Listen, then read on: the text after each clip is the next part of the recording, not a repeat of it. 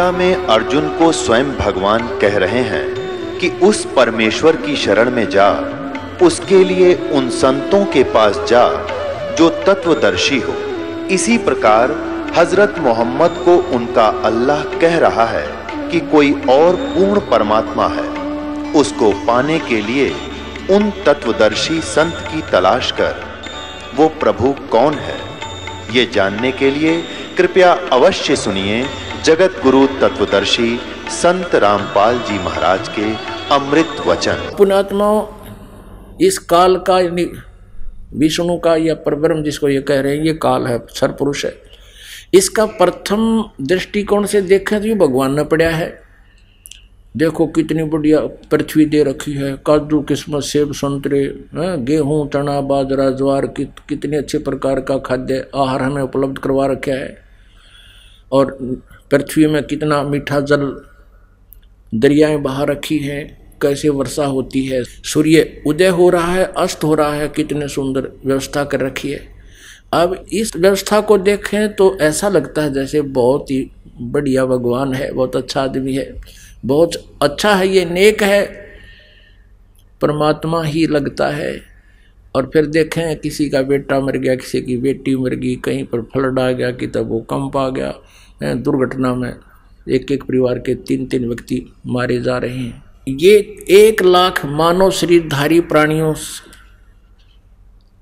के सूक्ष्म शरीर को तपत तपतशिला पर भून कर एक तवा है वहाँ पर, इसका बहुत बड़े पत्थर की टुकड़ी संगे मरमर जैसी, वो अपने आप हीट रहती है उसमें। और उस पर भून कर खाता है, इसको शराप लगा हुआ है। उसके लिए सब व्यवस्था इसने काल ने कर रखी है। अब ये तो कंसेप्ट क्लियर हो गया कि इसलिए गीता जी अध्याय नंबर पंद्रह के श्लोक नंबर सत्रह में कहा कि उत्तम पुरुष तो अन्य है। परमात्मा इति उदारत, जिसको भगवान कहा जाता है, वो है श्रेष्ठ परमात्मा तो कोई और है। गीता ज्ञान दाता से भी और सर और अक्षर पुरुष से दोनों से अलग है। सर पुरुष और अक्षर पुरुष से। और फिर कहा कि वही तीनों लोकों में प्रवेश करके सबका धारण पोषण करता है। वो है अविनाशी परमात्मा। है, है। अपनात्मा गीता जी अध्याय नंबर पंद्रह के श्लोक नंबर सोलह में अक्षर पुरुष कहा है। अक्षर माने अविनाशी होता है। अब आपने सृष्टि रचना में सुना है कि परमेश्वर परम अक्षर ब्रह्म ने कबीर देव जी ने अपने पुत्र अचिंत से कहा था कि तू सृष्टि रच। वो देखना चाहते थे और उनको ये आगाह कराना चाहते थे कि समर्थ का काम समर्थ ही कर सकता है। तो अचिंत ने परमात्मा से प्राप्त वचन से, क्योंकि परमात्मा परमेश्वर ने कह दिया था कि तू सृष्टि रच। तो वो वचन चला गया मालिक की, शक्ति उसके पास पहुँच गई। उससे उसने इस अक्षर पुरुष की उत्पत्ति की। एक व्यक्ति उत्पन्न किया अपना पुत्र वचन से और उसका नाम अक्षर पुरुष रख दिया कि ये अविनाशी हो गया। अविनाशी बच्चा है मेरा। इसलिए वो अक्षर पुरुष कहलाया, लेकिन वो वास्तव में अक्षर नहीं है। अब देखो सरपुरुष तो सीधा अंडरस्टूड है, नासवान। अक्षर पुरुष, ये अविनाशी का है। अब इससे क्लियर होगा, अब गीता जी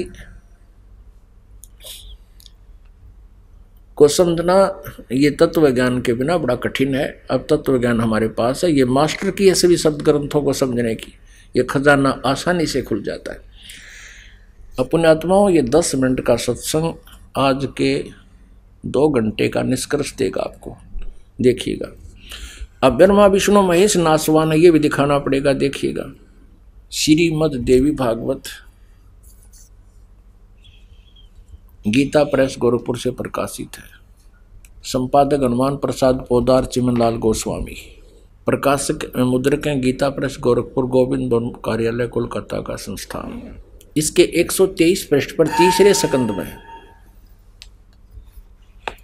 तीसरा सकंद अब भगवान विष्णु अपनी माता दुर्गा की महिमा करते हुए, सतुति करते हुए कह रहे हैं, तुम शुद्ध स्वरूपा हो। यह सारा संसार तुम्ही से उद्भासित हो रहा है। मैं, ब्रह्मा और शंकर, हम सभी तुम्हारी कृपा से विद्यमान है। हमारा आविर्भाव और तिरोभाव हुआ करता है। केवल तुम ही नित हो, जगत जननी हो। मैं, ब्रह्मा और शंकर, हम सभी तुम्हारी कृपा से विद्यमान है। हमारा आविर्भाव मन जन्म और तिरोभाव माने मृत्यु हुआ करता है। केवल तुम ही नित हो। जगत जननी हो, प्रकृति और सनातनी देवी हो। प्रकृति दुर्गा को कहते हैं। ब्रह्मा, विष्णु, महेश स्वीकार करते हमारा जन्म और मृत्यु होता है। भगवान शंकर बोले, देवी, यदि महाभाग विष्णु तुम ही से प्रकट हुए हैं तो उनके बाद उत्पन्न होने वाले ब्रह्मा भी तुम्हारे ही बालक हुए। फिर मैं तमोगुणी लीला करने वाला शंकर, क्या तुम्हारी संतान नहीं हुआ? अर्थात मुझे भी उत्पन्न करने वाली तुम ही हो। शिवे संपूर्ण संसार की सृष्टि करने में तुम बड़ी चतुर हो। इस संसार की सृष्टि स्थिति और संहार में तुम्हारे गुण सदा समर्थ हैं। उन्हीं तीनों गुणों से उत्पन्न हम ब्रह्मा, विष्णु एवं शंकर नियमानुसार कार्य में तत्पर रहते हैं।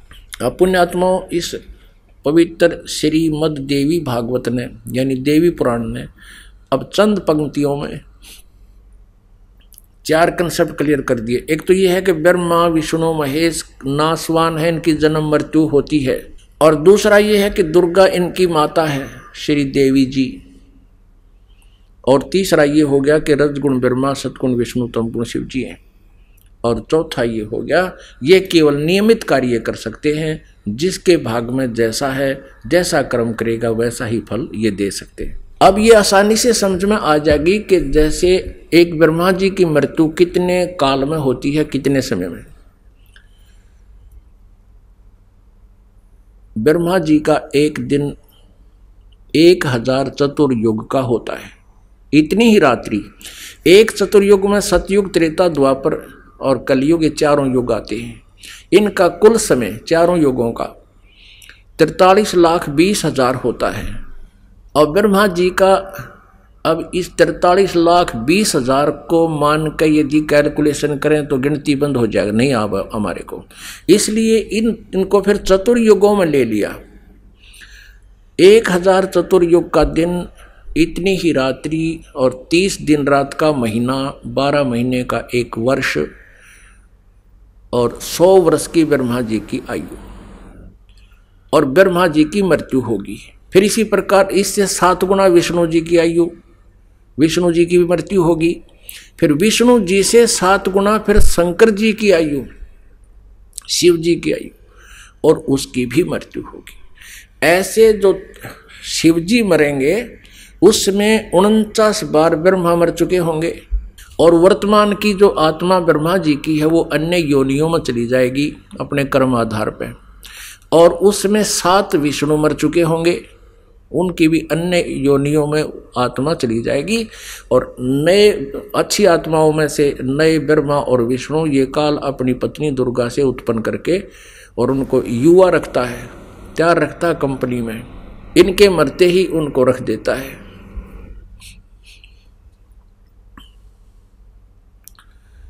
और फिर उनचास, यानी उनचास बार विष्णु की मृत्यु के बाद एक तमोगुण शिव की मृत्यु होगी, काल के पुत्र शिव की मृत्यु होगी। और उस ऐसे सत्तर हज़ार बार शिव की मृत्यु के उपरांत एक ब्रह्मांड का विनाश होगा और इस सरपुरुष यानी इनके पिता, इस काल रूपी ब्रह्म की मृत्यु होगी। अब ये कहता चौथे अध्याय के नौवें श्लोक में गीता जी में कि मेरे कर्म और जन्म अलौकिक है। अब ये कैसे जन्म अलौकिक है? यहाँ मृत्यु होगी। मरते समय पूरे ब्रह्मांड में आग लगेगी और दुर्गा भी मरेगी और ये भी मरेगा। और सबके शरीर ऐसे जलेंगे क्योंकि इनका शरीर शरीर हमारे से काफ़ी मज़बूत मटेरियल का है। तो उसमें ग्यारह सूर्य और आ जाएँगे। सौर मंडल में घूमते घूमते एक, एकदम इकट्ठे हो जाएँगे। एक सूर्य की कितनी होती है और ग्यारह सूर्य और बिल्कुल निकट आ जाएँगे। उस समय इतनी भयंकर आग लगेगी न पटाखे से फूटेंगे। सब पृथ्वी, ये सभी तत्व नाश में आएँगे केवल उस समय इनका शरीर भी काल का, यानी सरपुरुष का और दुर्गा का शरीर भी बुरी तरह जलेगा, ये भी हाहाकार मचाएँगे, बहुत बुरा हाल, बुरी तरह रोएँगे। परमेश्वर के विधान अनुसार ये दोबारा सभी प्राणी जीवात्मा किसी की नहीं मरती, दूसरे ब्रह्मांड में चले जाते हैं, इक्कीस ब्रह्मांड है इसके पास। और वहाँ, इन दोनों का, वहाँ जाते ही परमात्मा का विधान है, पूर्ण परमात्मा ने विधान बनाया है। वहाँ जाते ही इन दोनों का युवा शरीर पुनः मिल जाता है, दुर्गा और इस काल का। फिर उसी तरह से फिर नए ब्रह्मांड की शुरुआत ये फिर से करते हैं। अपुणात्मा अब ये इसकी जन्म मृत्यु का पता लगा सरपुरुष अब अक्सर पुरुष, इसकी मृत्यु कैसे होती है?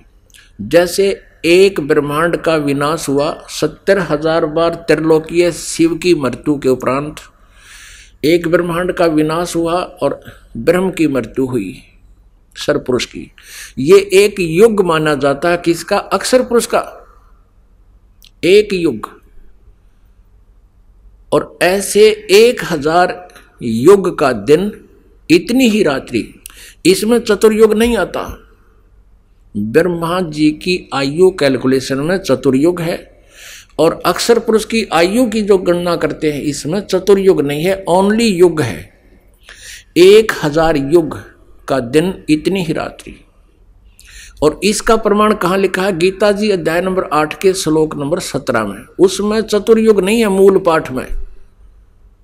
इन्होंने अज्ञानता से वहाँ ब्रह्मण का अर्थ होता है बड़ा भगवान, यानी ब्रह्म से नेक्स्ट और ब्रह्मण्य का अर्थ हो क्योंकि यहाँ ब्रह्मण्य का अर्थ अक्सर पुरुष लिया जाएगा क्योंकि यहाँ आयु की कैलकुलेशन है।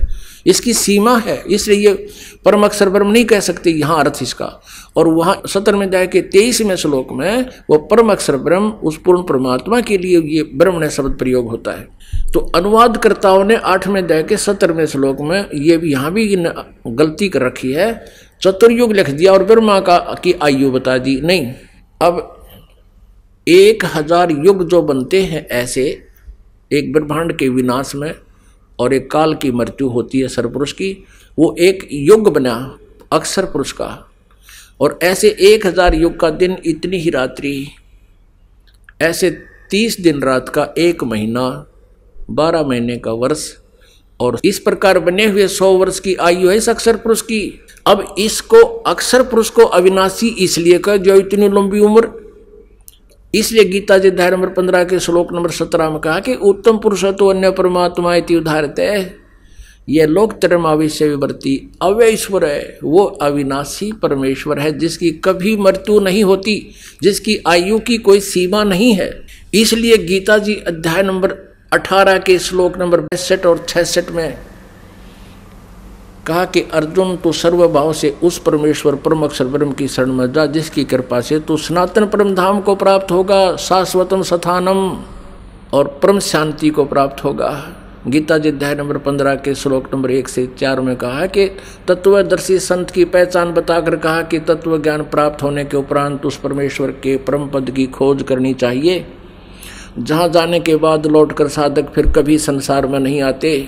श्रीमद भगवत गीता अध्याय नंबर सात के श्लोक नंबर अठारह में गीता ज्ञानदाता ने इसलिए अपनी साधना को, अपनी भक्ति को, अपनी गति को अनुत्तम कहा है कि जन्म और मृत्यु सदा बने रहेंगे तो भी मरेगा, मैं भी मरूँगा, शांति कभी नहीं हो सकती, केवल उस परमेश्वर की शरण में जाने से शांति होगी।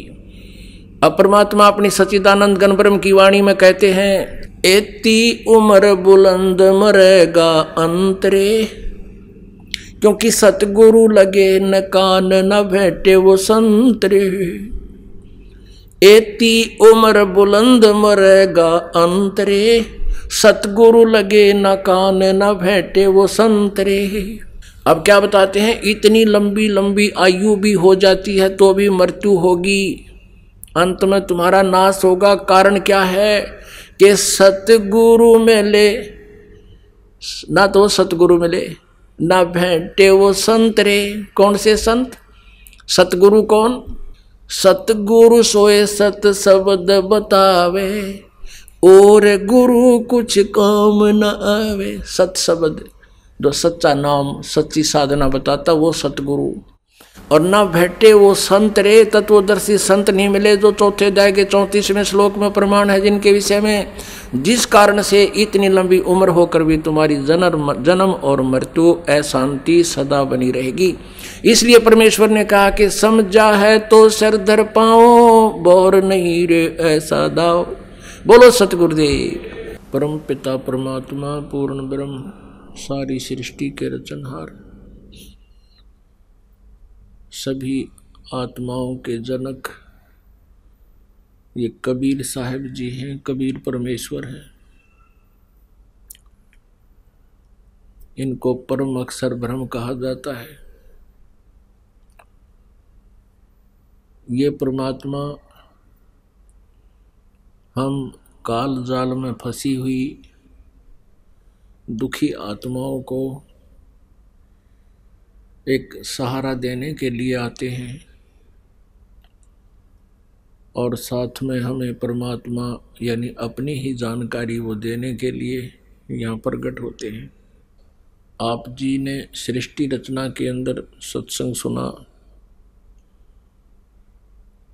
हम कैसे यहाँ कष्ट उठा रहे हैं?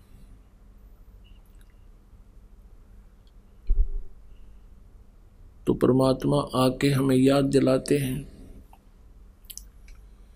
झूठे सुख को सुख कहे, ये मान रया मन मोद। ये सकल चबीना काल का कुछ मुख में कुछ गोद। कबीर परमेश्वर जी ने हमें याद दिलाया। कि तुम इस काल के जाल में फंसे हुए हो। और जो तुम्हें यहाँ इस काल ने रोका हुआ है जिस आधार से ये आपका झूठा सुख है। क्या बताते हैं परमात्मा? बेटा जाया खुशी हुई।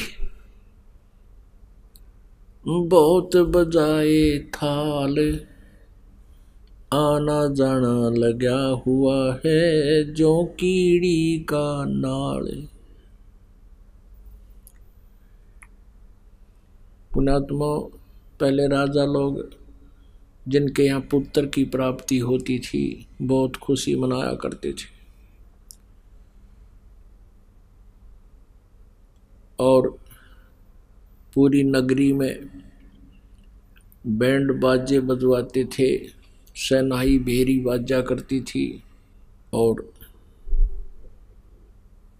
राजा के लड़का होने की खुशी में पूरे बाज़ार में मिठाई बांटी जाती थी। अब उसी तरह की रीस, नकल गरीब जनता भी करने लगी। वो बैंड बाजा तो नहीं बजवा सकती थी पुत्र होने के उपलक्ष्य में। लेकिन एक थाली ले लेते थे हमारे क्षेत्र में विशेषकर। थाली लेकर थाली और उसका डंडी ते जो कर घंटी बजाया कर स्कूल की, न्यो बजाया करते थे।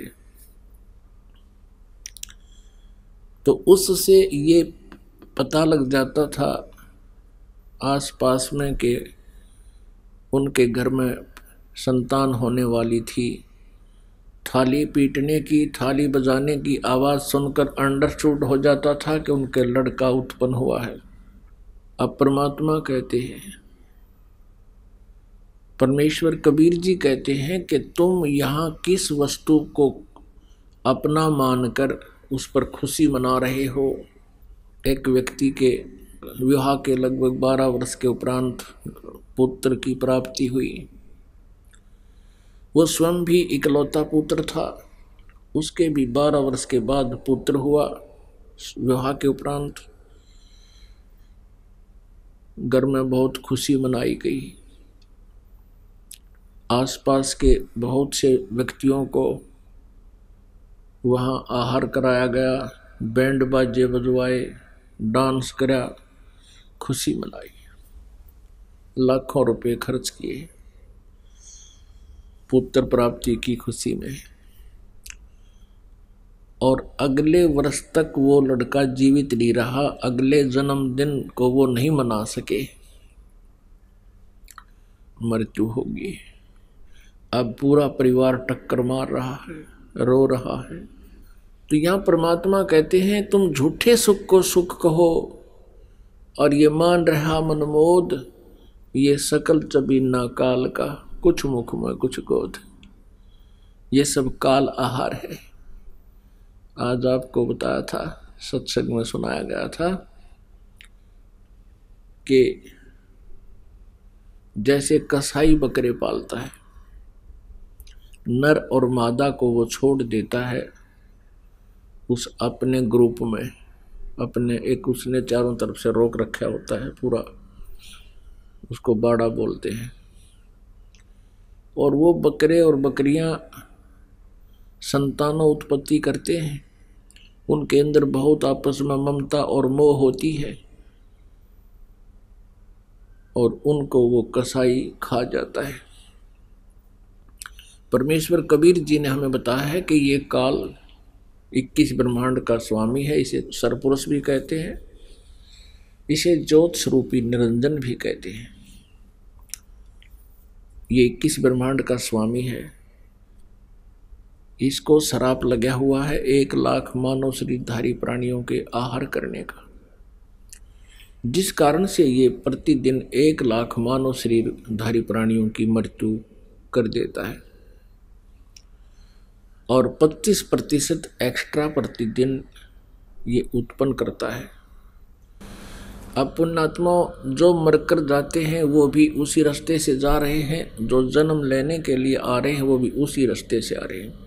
तो ऐसे लाइन लगी रहती है सारा दिन, जैसे कीड़ी के नाल देखा हुआ आपने, चीटियों की कतार होती है, लाइन होती है। लाखों चीटियाँ इधर भाग रही हैं, लाखों इधर भाग रही पुणात्माओं जो परमात्मा ने ये सच्चाई बताई है हम इस सच्चाई से परिचित नहीं थे। जिस कारण से प्रारंभ में ये बातें हमें अटपटी सी लगती हैं। वो तो हमारे अज्ञान की अज्ञान की देन है जो हमें अच्छी सत्य वस्तु तो झूठी लगती है और झूठी वस्तु को हम सत्य मानते हैं। तो यह परमात्मा हमें याद दिलाते हैं, काया तेरी है नहीं ये माया कहाँ से हो?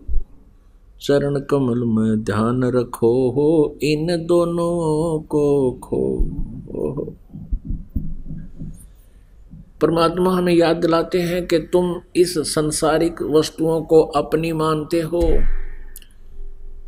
छोटी छोटी बातों पर झगड़ा कर लेते हो, टेंशन बना लेते हो, मुकदमे कर देते हो। आपकी तो काया भी नहीं है, शरीर भी आपका नहीं है, इसको भी एक दिन त्याग कर जाओगे। फिर यह संपत्ति आपकी कहाँ से हुई? है सर्व सोने की लंका थी वो रावण से रणधीरम। एक पलक में राज बिराजी जम के पड़े जंजीरम। लंकापति रावण ने अपनी नगरी में सोने के मकान बना रखे थे, स्वर्ण के, गोल्ड के।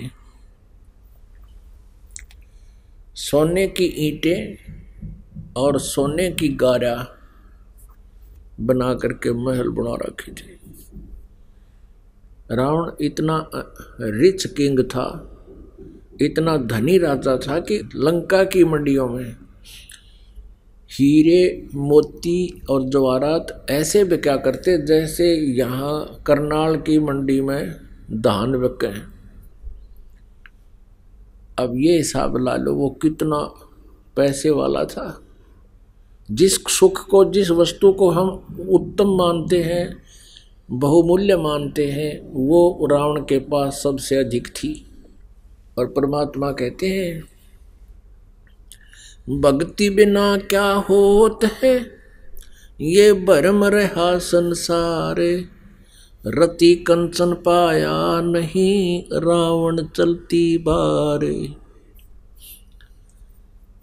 कहते हैं, भक्ति बिना क्या होता है? ये भरम रहा संसार एक ग्राम सोना भी नहीं प्राप्त हुआ, रावण जब संसार छोड़कर जाने लगा, सभी यहीं छोड़ गया। और उसी के जोड़न तोड़न में ज़्यादा धन प्राप्ति के लिए अनुष्ठान किया करता था। मैं घना धनी हो जाऊँ, सिद्धियाँ हो जाए। परमेश्वर कबीर जी हमें बताया करते थे, तीन लोक का राज जीव को जय कोई दे। लाख बधाई क्या करे जय नहीं नाम तैने। यदि इस जीव को तीन लोक का भी राज्य दे दे और फिर उसको बधाई देने वाले आवे।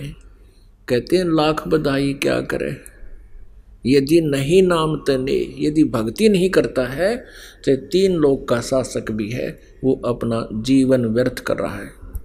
अगम निगम को खोज ले, बुद्धि विवेक विचार।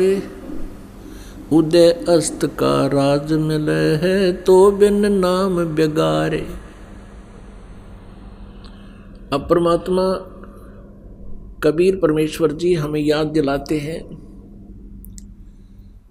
यदि भक्ति नहीं करता है, यह मनुष्यधारी प्राणी तो ये ऐसा बताते हैं, जैसे राजा होता है और जो भक्ति नहीं करता, उसकी क्या दशा बताई है?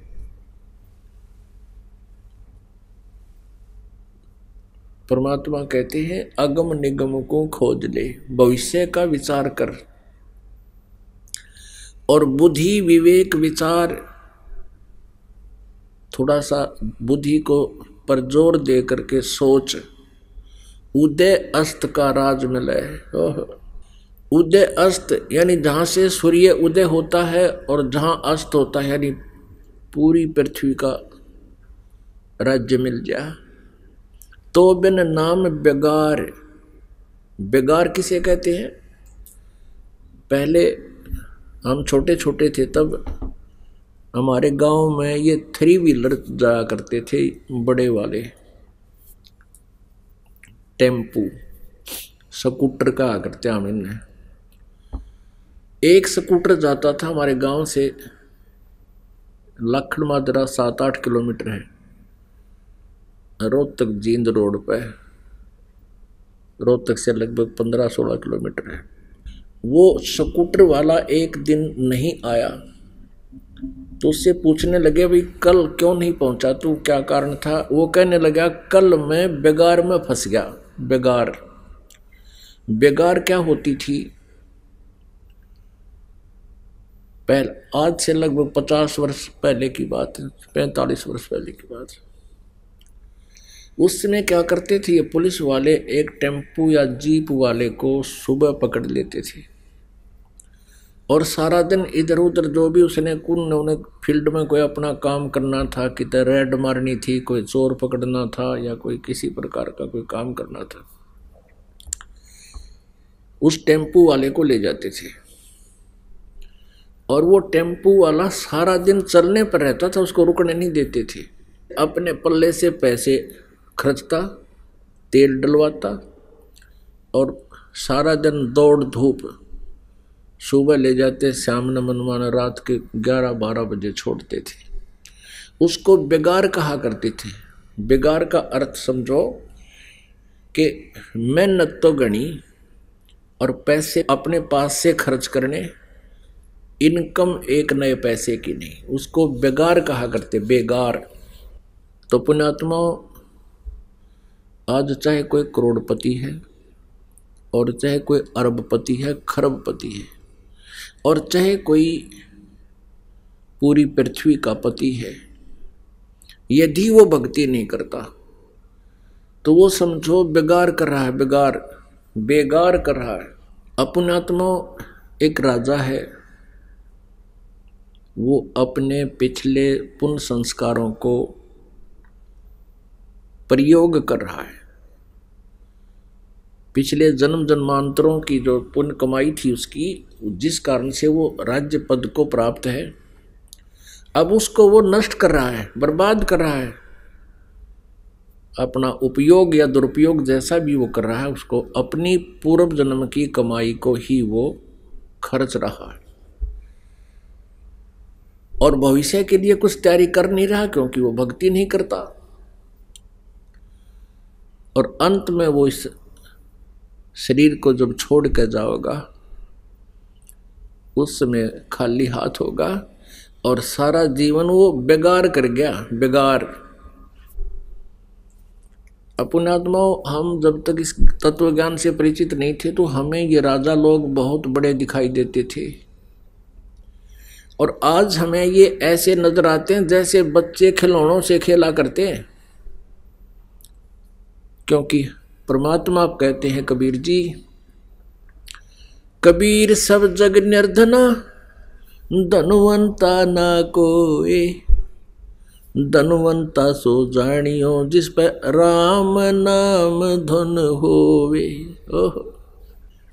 राम रटत कन्या भली साकेट भलो न पूत, छेरी के गल में गल थना जिसम दूध ना नामूत राम रटत दारी दर भलो, टूटी घर की छान, वो सुंदर मैल किस काम के जहाँ भक्ति नहीं भगवान। राम रटत कोढ़ी भलो। चू चू पड़े जो चाम। ये सुंदर शरीर किस काम का? जा मुख नाही नाम। जिभ्या तो आए भली। जो रटे हरि नाम। नहीं तो काट फेंक दियो। ये मुख में भलो न चाम। परमेश्वर कबीर देव जी, कितनी महिमा बताते हैं भगवान के नाम की और मानव शरीर की। कहते हैं, राम रटत दारिद्र भलो। दारिद्र माने कति निर्धन व्यक्ति। और इतना निर्धन के उसने झोंपड़ी डाल रखी हो मकान के स्थान पर उस, और झोंपड़ी की भी ऊपर की छत यानी छान कहीं से टूटी फूटी पड़ी। हो और यदि वो परमात्मा की सत भक्ति कर रहा है, वो उस राजा से भी कहीं, कई गुना अच्छा है, जो सत भक्ति नहीं कर रहा। राम रटत दारिद्र भला, टूटी घर की छान वो सुंदर महल किस काम के? जा भक्ति नहीं भगवान। राम रटते कोढ़ी भलो चू चू पड़े जो चाम। वो सुंदर शरीर किस काम का? जा मुख ना ही नाम। अब क्या बताते हैं परमात्मा के? भक्ति करने वाला, चाहे कोई रोगी है, दुखी है, वो भक्ति करता है, वही भला है और एक दिन परमात्मा उसके दुख का भी निवारण अवश्य करेगा, क्योंकि परमात्मा के गुणों में लिखा है। और जो भक्ति नहीं करते, चाहे कितने सुंदर शरीर है, कितना उनको ये झूठा सुख प्राप्त है वो अपने पिछले पुनों को नष्ट कर रही है। तो यहाँ परमात्मा कहते हैं, राम रटत कोड ही भलो, जिसका कोड लाग रहा हो और वो भी भक्ति कर रहा है। और वो सुंदर शरीर किस काम का जहाँ भक्ति नहीं भगवान। अपने आत्मा, परमात्मा बताते हैं कि कबीर सुख के माथे पत्थर पड़ो जिस ते नाम हृदय ते जावे, और बलिहारी उस दुख के जो पल पल नाम रटावे। पुणात्मा यहाँ नब्बे प्रतिशत श्रद्धालु महादुखी आए हैं। कोई शारीरिक कष्ट से, कोई मानसिक कष्ट से, कोई किसी प्रकार से, कोई किसी अभाव से। नब्बे प्रतिशत वो प्राणी हैं जो महादुखी थे। और परमात्मा की दया हुई, भक्ति प्रारंभ की और धीरे धीरे आज उनको सुख हो गया। तो उनके लिए वो दुख, जिस दुख के कारण वो परमात्मा की शरण में आ गए, उनके लिए वो दुख वरदान सिद्ध हो गया। यदि उन पर यह दुख न आता, वो परमात्मा की खोज नहीं करते, परमात्मा के लिए नहीं चलते तो परमात्मा कहते हैं, इसे सुख के आग लगे। भाड़ में जाओ ऐसा सुख, जिस तरह भगवान की भूल पड़े। सुख के माथे सला पड़ो, पत्थर लगो इसे सुख के, जो नाम हृदय से जावे, और बलिहारी उस दुख के जो पल पल नाम रटावे। परमात्मा हमें क्या कहना चाहते हैं कि तुम इस गणे सुख की जो है ना चाह मत करियो।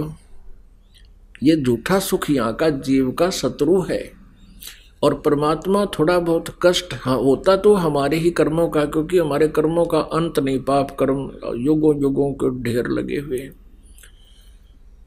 वैसे तो परमात्मा इन सभी पापों को काट देगा, लेकिन थोड़ा बहुत कष्ट हमारे ऊपर बना रहे तो अच्छा है क्योंकि हम भगवान ना बोले और ऐसी व्यवस्था प्रभु अवश्य रखेगा। तो पुण्यात्मा, परमात्मा यही बताना चाहते हैं कि राम रटत कन्या भली और साकट बला नापूत जैसे बकरी के गल में गल थना, जिसमें दूध न मूत। अब देख कितनी प्यारी आख्या दी है कबीर भगवान ने। कि जो लड़की बेटी, अब हमारे समाज में एक विशेष कमज़ोरी रही है और अब भी बहुत है कि हम बेटे और बेटी में बहुत अंतर मानते रहे। हम पुत्र की प्राप्ति पर तो थाली पीटे, बधाई बांटा, बंडा और करा के उद मस्तार जाए, नाचो और गाँव और बेटी हो जा, मुँह लटका कर बैठ जाए। हमारी ऐसी व्यवस्था थी। इसका कारण क्या था कि नकली गुरुओं ने समाज में ऐसी धारणा फैला दी कि बेटे बिना मुक्ति हो को ना। मोक्ष बेटे से होता है और उधर से बेटी की ऐसी दुर्गति कृति दहेज का कारण बना के। तो हम बेटियों में और बेटों में गणांतर मानन लागे। ये भी हमारी महाकमजोरी और भूल है। क्योंकि हम सारी उल्टी रीति अपना रहे हैं, जो हमें दुख दुख दे सकते हैं, सुख नहीं दे सकती। अब जैसे बेटी का विवाह कर दिया, और बेटी ने नाम ले रखा है, वो अपने जीवन रूपी सफ़र में बेटी चलेगी तो परमात्मा उसके ऊपर आने वाली आपत्तियों को खत्म कर देगा। बेटी को दुखी नहीं होने देगा। अब बेटी दुखी नहीं होगी तो माता पिता भी भक्ति ठीक से कर सकेंगे। क्योंकि बेटी दुखी होगी तो माता पिता भी टेंशन में हो जाएँगे। तो इसलिए परमात्मा कहते हैं, राम रटत कन्या भली और साकट बला नपूत और छेरी के गल में गल थना जिसमें दूध नमूत कहते हैं वो साकिट बेटा साकिट उसे कहते हैं जो स्वयं भक्ति स्वयं भी नहीं करे और जो उसके अंतर्गत उसके प्रेशर में है, अधीन है, उनको भी भक्ति नहीं करने देता। अब पुत्र युवा हो जाता है, भक्ति वो करता नहीं। तो उसके जीवन में भी दुख आएँगे, क्योंकि यहाँ तो सुख और दुख दोनों का मिश्रण करके प्रारंभ बना रखा है। अब वो पुत्र जो भक्ति नहीं कर रहा है वो तो माता पिता भक्ति कर रहे हैं तो उनमें बाधक बनेंगे, क्योंकि कभी उस पर कुछ आपत्ति आ रही है, कहीं पर कुछ कबाड़ा कर रहा है वो। तो यहाँ परमात्मा कहते हैं, वो भक्तिहीन बेटा। इत, इस प्रकार माता पिता के वज़न है उसके ऊपर, जैसे बकरी के गल में एक थन जैसी खाल लटक्या करती है। ना वो दूध होता उसमें, ना वो किसी अन्य काम आती। अर्थात फजूल का, व्यर्थ का बोझ गल में लटका हुआ है। तो परमात्मा कहते हैं, नाम रटत कन्या भली साकट भला नपूत, जैसे छेरी के गल में गलथना जिसमें दूध न नमूत वो एक अन्य का काम नहीं आता और खाम खां का वज़न गड़ में लटक रहा है। ऐसा वो पुत्र है जो भक्ति नहीं करता, उन माता पिता के लिए जो भक्ति कर रहे हैं। अब परमात्मा क्या याद दिलाते हैं? दुख में सुमरण सब करें, सुख में करे ना कोई।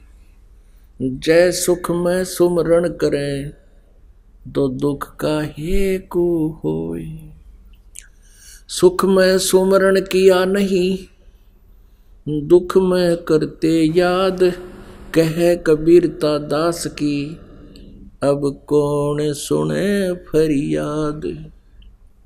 आए हैं सो जाएँगे, राजा रंक फकीर, एक सिंहासन चढ़ चले, एक बंधे जात जंजीर। परमात्मा कबीर देव जी बताते हैं कि मृत्यु तो तुम सबकी होगी। लेकिन मृत्यु मृत्यु में बहुत अंतर होगा। जो भक्ति नहीं करते वो प्राणी, उनकी बहुत दुर्गति होती है।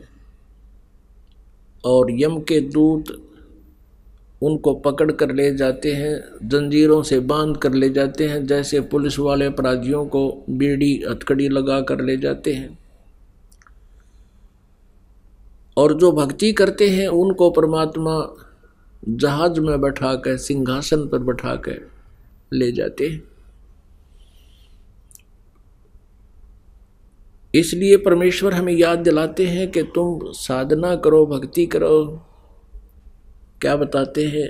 आजा बंदे, शरण राम की, फिर पाछे पछतावेगा भाई आजा बंदे, शरण राम की, फिर पाछे पछतावेगा बालू की बीत पवन का खंबा कब लग खैर मनावेगा? बालू की भीत पवन का खम्बा कब लग खैर मनावेगा? आज़म तेरे घटनेंगे रे तू राम कहने ना पावेगा।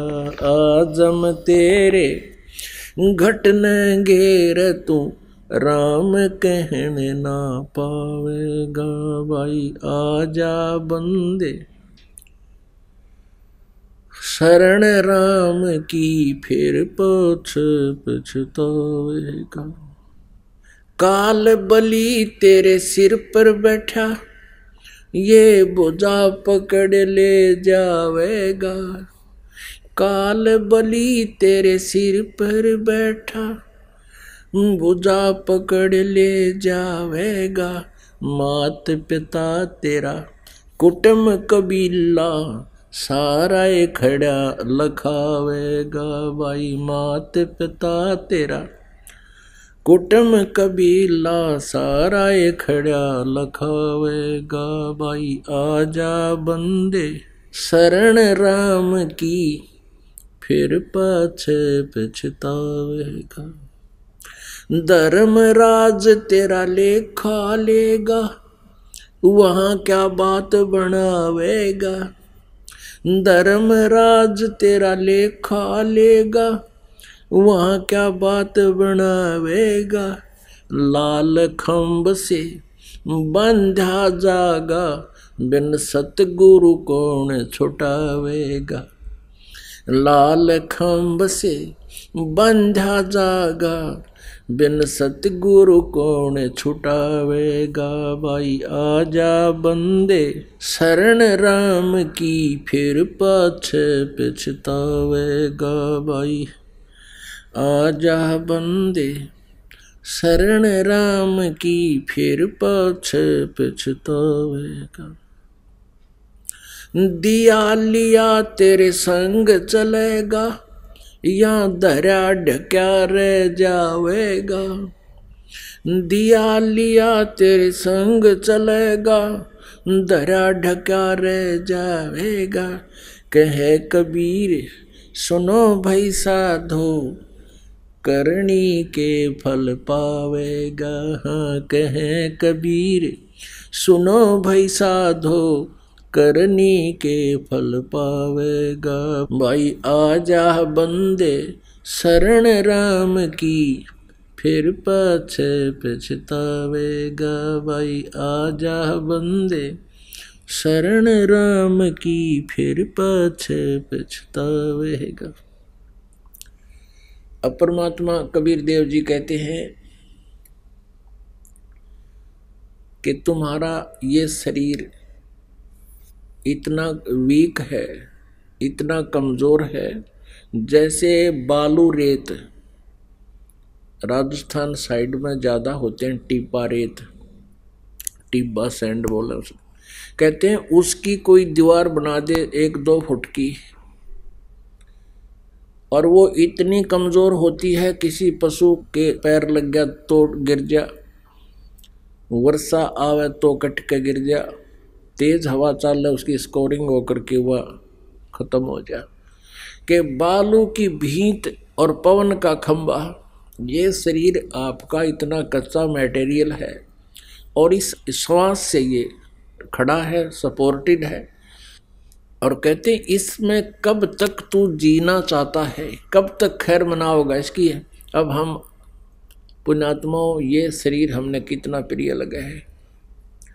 अपने जीवन रक्षा के लिए कोई रोगी अपनी सारी संपत्ति को बेचकर अपना ट्रीटमेंट करवाना चाहता है कि किसी प्रकार मेरा जीवन बच जाए अब परमात्मा कहते हैं, तू कब तक बचना चाहता है इसमें? अब परमात्मा ये याद दिलाना चाहते इसमें तुम कब तक जीवित है, कब तक रहना चाहता है? इसका ये है क्या? हम कभी इतनी सोच नहीं करते, इतना विचार नहीं करते, हमें इतना समय नहीं छोड़ रखा काल ने, हमारे अंदर इतने विकार को बद भर रखी हैं। ये शरीर हमारा कैसा है? जैसे आपने सड़क के ऊपर कभी दुर्घटना में कोई कुत्ता मरा हुआ देखा हो और उसकी आंत पड़ी होती है कहीं पर, कम से कम भी एक दो फुट तक लंबी, चार चार फुट तक लंबी। और उसके शरीर का चाम सड़क पर चिपका हुआ होता है। हार्ड अलग से पड़े हैं, रक्त बह चुका होता है। ये मटेरियल आपके अंदर है और उस कुत्ते मरे हुए को देखकर हम नो मुँह कर लेते हैं। हमें वो कितना अभद्र लगता है, बूढ़ा लगता है। और उसी के अंदर हम लिपटे पड़े हैं। तो परमात्मा हमें याद दिलाते हैं, तुम आप ये कहते हो भगवान, मेरी रक्षा करना, मैं मर ना जाऊँ? कबीर साहब कहते हैं, मुझे यह चिंता है कि तुम जी कैसे रहे हो? इसमें तुम जीवित कैसे हो? तुम डर रहे हो, मर ना जाऊँ? और मुझे यह चिंता है, तुम जीवित कैसे सांग में? इसमें क्या है, ये हार्ड फंसा रखे बीच में। ऊपर का चाम लपेट दिया, बीच में नाड़ी और मांस भर दिया। इसमें थूक, टट्टी, पेशाब, बलगम, पता नहीं के के ठोक रखे। अब परमात्मा कहते हैं, इस शरीर को अब ये पाँच तत्वों से बना हुआ तुम्हें मिला है। और आप इससे के हर श्रृंगार में लगे रहते हो? इसी की सुरक्षा और व्यवस्था में लगे रहते हो? या नाला की बताई। इस मिट्टी से हम सोना बना सकते हैं। इससे हम परमात्मा प्राप्ति कर सकते हैं। ये इतना अच्छा भी है। यदि इसका सदुपयोग किया जाए। अन्यथा क्या होगा? आज़म तेरे घटने गेर तू राम कहन ना पावेगा। अंत समय जब मृत्यु होती है भक्तिहीन प्राणी की, काल के दूत सूक्ष्म रूप से अंदर से उसकी ज़ुबान खींच लेते हैं, ज़ुबान पकड़ लेते हैं। कहीं ये नाम जाप ना कर ले भगवान का। कहते हैं, फिर तेने कोई कवाना चाहो ना राम बोल या कोई मंत्र बोल, नहीं बोल सकता।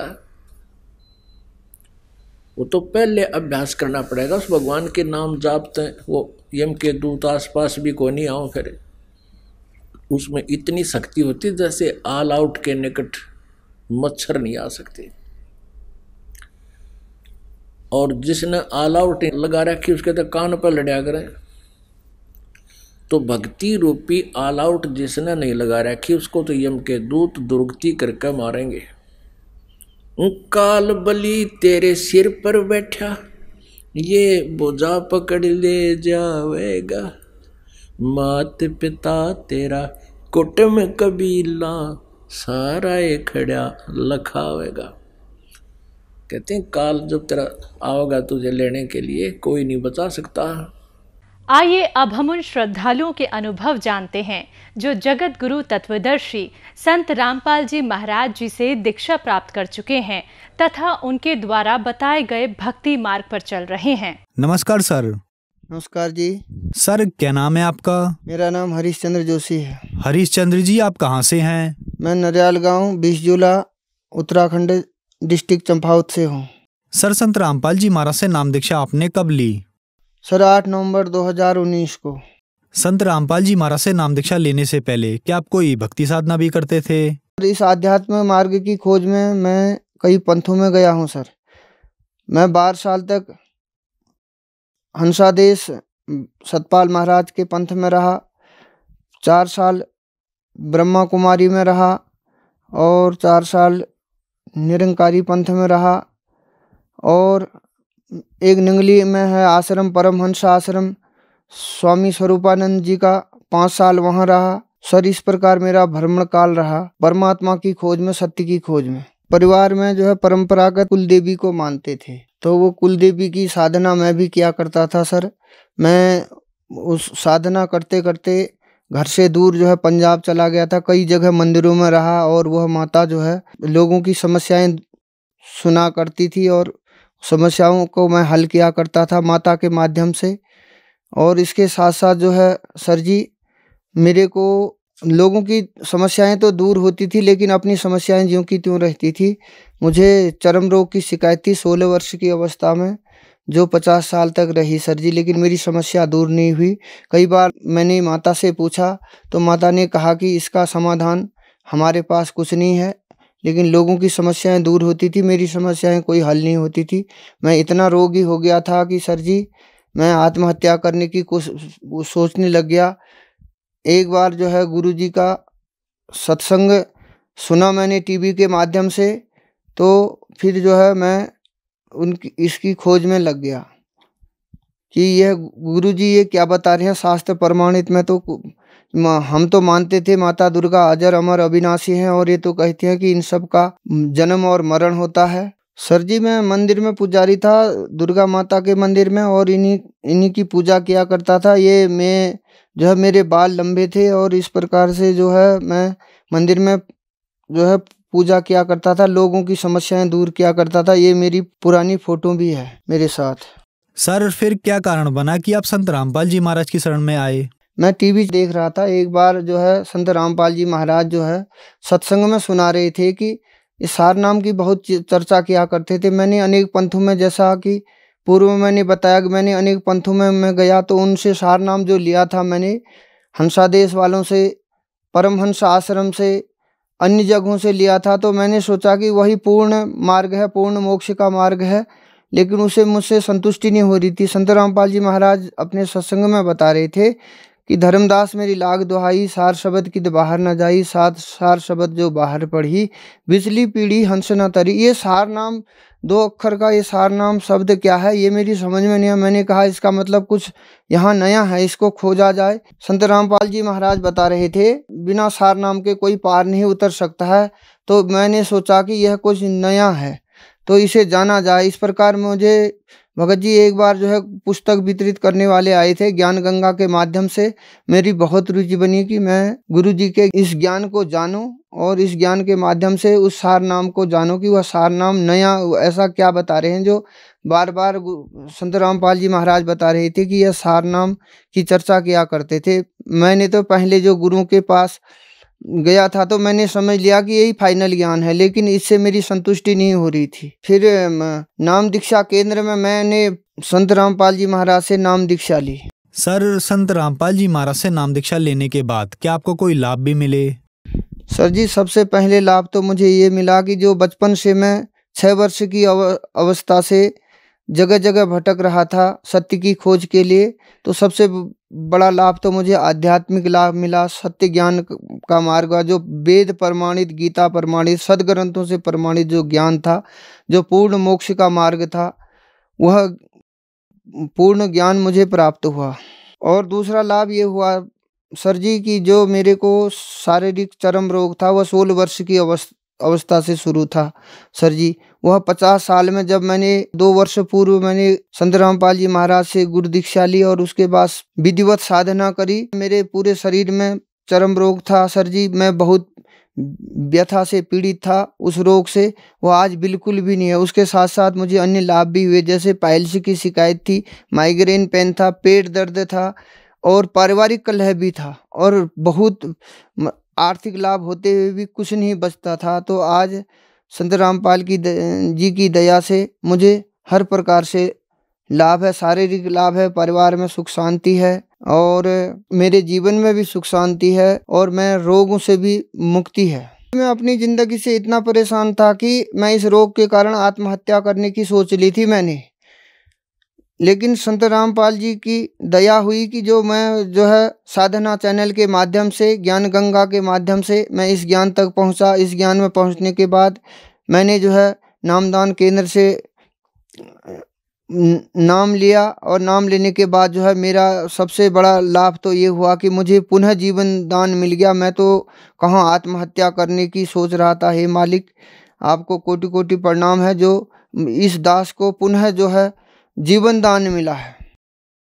सर संत रामपाल जी महाराज से नाम दीक्षा लेने के बाद आपको बहुत सारे लाभ मिले। सर कहा जाता है कि गुरु नहीं बदलना चाहिए गुरु बदलना पाप है। आपने बहुत सारे गुरु बनाए और फिर आप संत रामपाल जी महाराज की शरण में आए। सर आपने बहुत सारे गुरुओं को छोड़ा और फिर आपने संत रामपाल जी महाराज को चुना। तो संत रामपाल जी महाराज में ऐसा क्या लगा जो उन गुरुओं के पास नहीं था? सर जी उन गुरु के पास जो है पूर्ण मोक्ष का न तो मार्ग था न पूर्ण शांति दिन कोई रोग का समाधान होता था। बस एक थोड़ा सा मन बहलाव लगा लीजिए या टाइम पास लगा लीजिए। इस प्रकार हमें नहीं लगा कि वहाँ से कोई संतुष्टि मिलेगी। यहाँ तो शास्त्र, प्रमाणित शास्त्रों को खोल के दिखाया जाता है कि प्रमाणित विद प्रमाणित ज्ञान है ये। इस ज्ञान में आने से हमें बहुत लाभ मिले। प्रमाणित ज्ञान है। संत रामपाल जी ने इसमें जो है वेदों का, गीता का जो हमारे सदग्रंथ हैं, बाइबल, कुरान गुरु ग्रंथ साहब प्रत्येक को खोल करके उसमें बुद्ध प्रीफ जो है इस ज्ञान को बताया है। सर संत रामपाल जी महाराज से नाम दीक्षा लेने के बाद आपको बहुत सारे लाभ मिले। तो जो दर्शक आज आपको टीवी पर देख रहे हैं खास करके उत्तराखंड के लोगों को आप अपनी भाषा में क्या कहना चाहेंगे?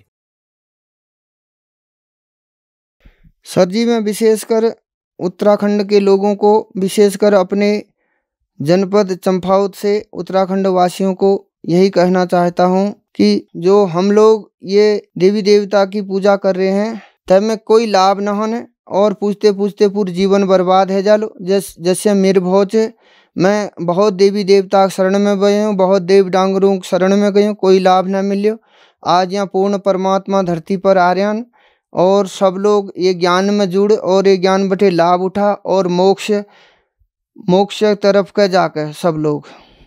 संत रामपाल जी महाराज से नाम दीक्षा कैसे ली जा सकती है? सर जी विभिन्न टीवी चैनलों के माध्यम से और यूट्यूब के माध्यम से इंस्टाग्राम के माध्यम से फेसबुक के माध्यम से और तमाम जो है पुस्तकों के माध्यम से चैनल हैं गुरु जी का। चौबीस घंटे सत्संग चलता है टीवी के माध्यम से। उसमें कॉन्टैक्ट नंबर होते हैं और जो ज्ञान गंगा पुस्तक है इसको निशुल्क भी मंगा सकते हैं उस पर भी नंबर है। ये सब गुरु जी से जुड़ने का माध्यम है। धन्यवाद सर। सत साहिब।